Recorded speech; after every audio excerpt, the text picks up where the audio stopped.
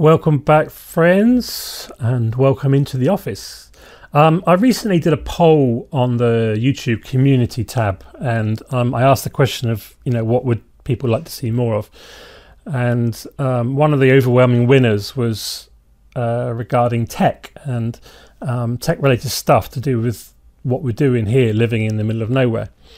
So um, this winter, what I thought I would do is embark on something I've been wanting to do pretty much since we got here, and that was building a system to monitor stuff and to control and automate some bits and pieces around the homestead.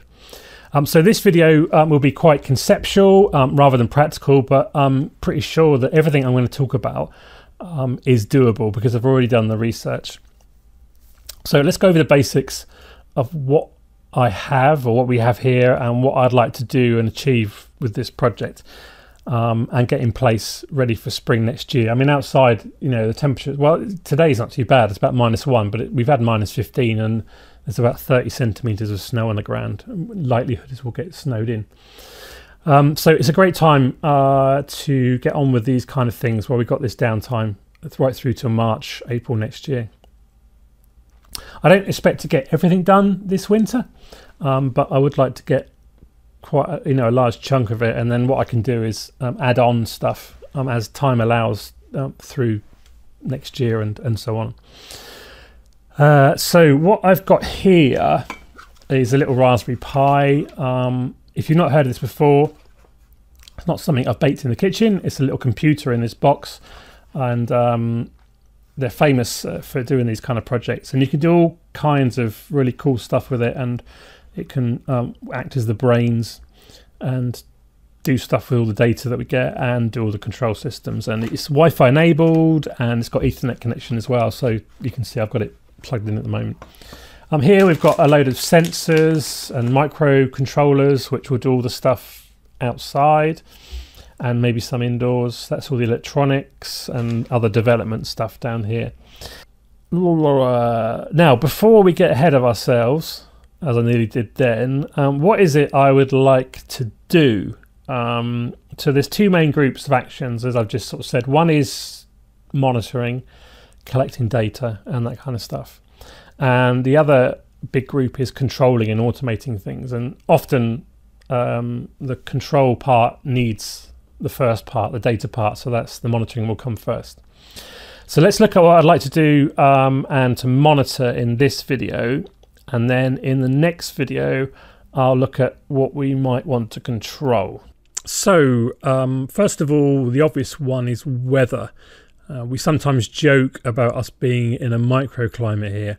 We've seen it when it's been raining here, um, but in the village, just a few kilometres away, it was bright sunshine. So it would be great to take weather data uh, from uh, within our own context here on the homestead.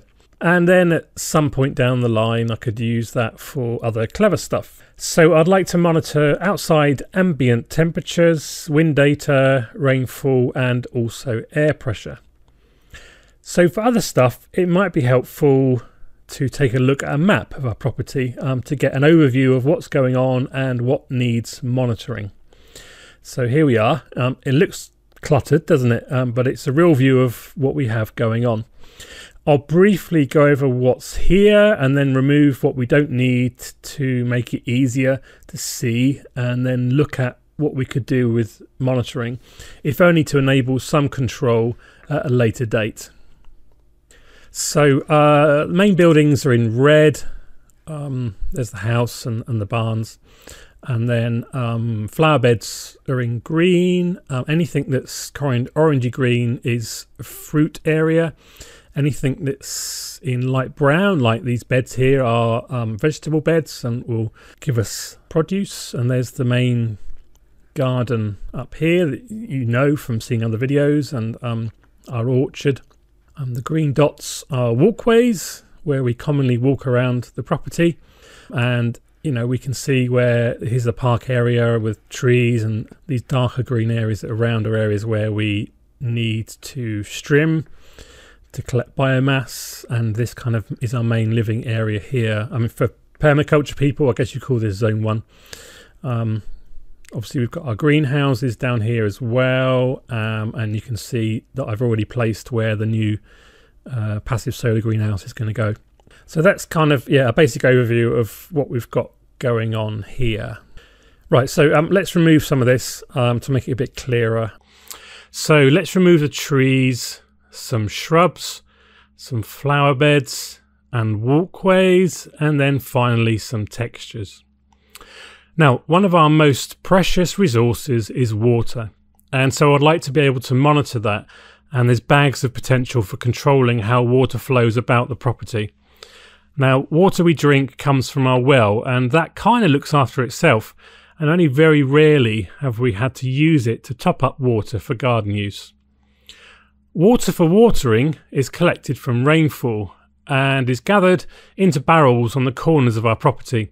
From there, it's pumped manually with a pump and hose pipe to one of the two IBC totes that we have, one by the greenhouse and the other over by the main vegetable garden. Now, whilst not the subject of this video, this is an area that needs some thought and upgrading in order to better capture, store and distribute rainwater. These IBCs each store 1,000 litres.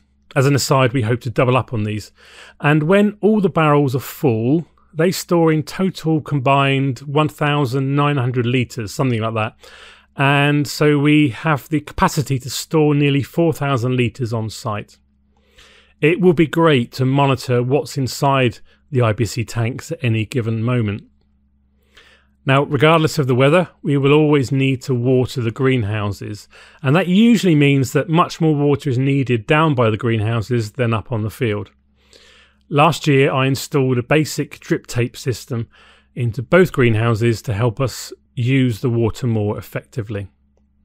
Monitoring barrel levels right now is probably a step too far, but it's doable if needed. I also want to know the temperature inside the two greenhouses. Knowing what it goes down to at night when we're asleep would be really useful, as well as comparing that to external temperatures. For ventilation control purposes, we need to know how high the temperature is.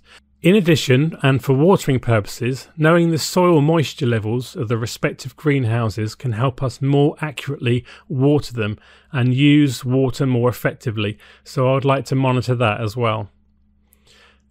So I think that's probably enough for now.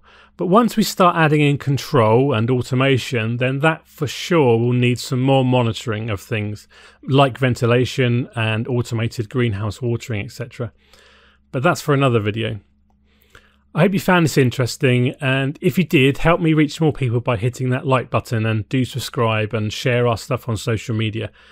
I look forward to seeing you in the next video where we'll talk about automation and control and I'll bring you up to speed with um, how far I've got with um, building some of these sensors and uh, microprocessors, etc. Bye for now.